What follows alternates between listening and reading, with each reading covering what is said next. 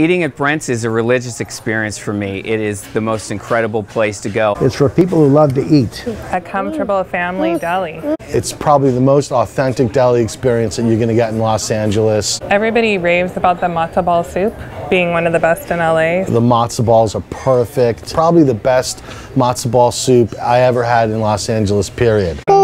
We like your your breakfast. You guys have good bacon. The pickles are the hook, see? And then comes the pastrami. M- my favorite thing to order is the blackened pastrami. Absolutely spectacular. The pastrami is totally out of this world. I like onions and uh, deli mustard on it. But You have to talk about the double baked rye bread. Okay, you don't want to overlook the double baked rye bread. And you have to take at least a half a loaf home. People are buttering up the bread right away. They can't even wait for their sandwich. The quality is incredible. Everything's fresh. The people are great, but the food is absolutely spectacular. It's known for being one of the best in LA.